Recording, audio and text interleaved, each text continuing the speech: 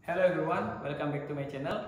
Di video kali ini kita akan membahas tentang craft flare karena banyaknya request dari teman-teman bartender yang ingin belajar bagaimana sih cara craft flare. Saya akan berbagi tiga jenis trik atau tiga jenis move yang nanti kalian bisa pelajari di outlet kalian bekerja maupun di tempat kalian latihan. Jadi pertama-tama alat-alat yang harus siapkan adalah small tin, Boston shaker dan scoop ice. Di video ini nanti akan ada gerakan yang paling mudah, eh, medium sampai yang paling sulit. Jadi untuk teman-teman semua selamat mencoba.